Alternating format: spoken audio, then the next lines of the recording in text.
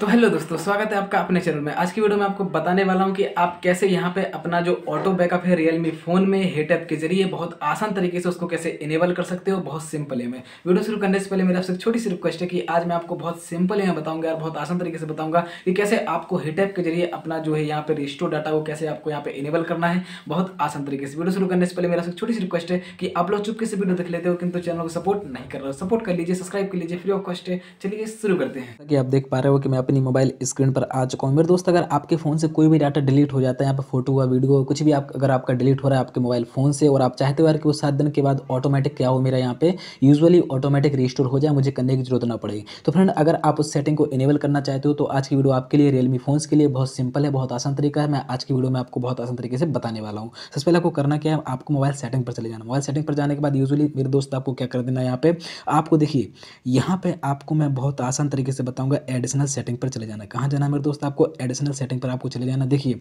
हर एक Realme phone में ये जो ऑप्शन है मेरे दोस्त, वो थोड़े से आगे पीछे होते हैं। आपको सर्च कर लेना है यूजुअली तब जाके आपको यहाँ पे ऑप्शन देखने के लिए मिल जाएँगे। यहाँ पे अब लिखा हुआ है बैकअप एंड रीसेट देखिए, सबसे नीचे की ओर आपको दिख रहा होगा बैकअप एंड रीसेट सिंपली आप यहाँ पे टैप कर देना। जैसे आप यहाँ पे टैप कर दोगे तो यहाँ अब आपको ऊपर की ओर ऑप्शन देखने के लिए मिला हुआ क्या?